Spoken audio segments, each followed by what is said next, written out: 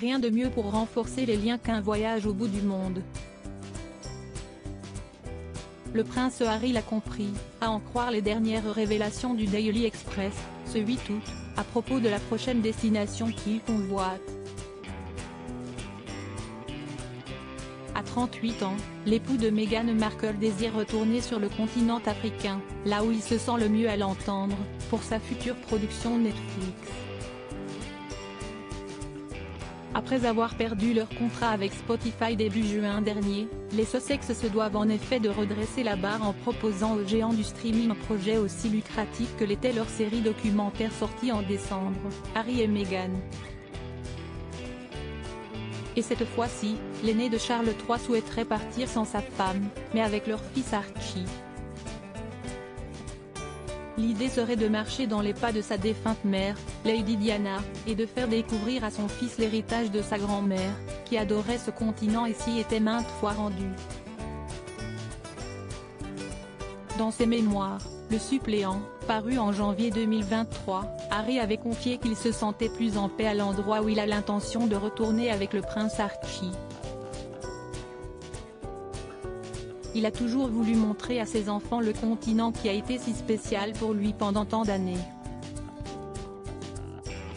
Si est-il qu'il s'est senti proche de sa mère, dont il a suivi les traces, et si est-il presque un devoir familial que d'avoir la joie de montrer l'Afrique à son fils, a ainsi confirmé une source proche du prince au tabloïd il y a quelques semaines.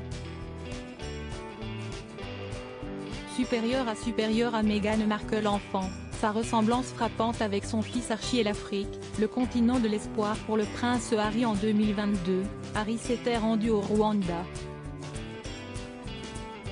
Président de l'ONG de conservation African Parks, le duc de Sussex avait notamment profité de son séjour pour visiter le mémorial du génocide de 1994 situé à Kigali.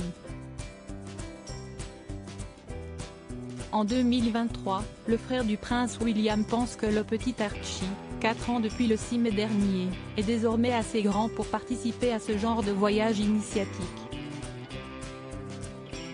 Sur mon mur et dans mon cœur chaque jour, il y a une image de ma mère et de Mandela se rencontrant au Cap en 1997, avait dévoilé le prince dans son autobiographie.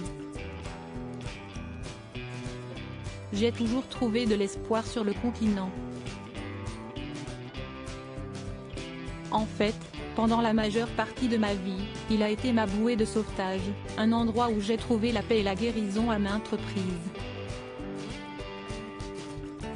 Il espère désormais transmettre cette passion pour l'Afrique à son fils.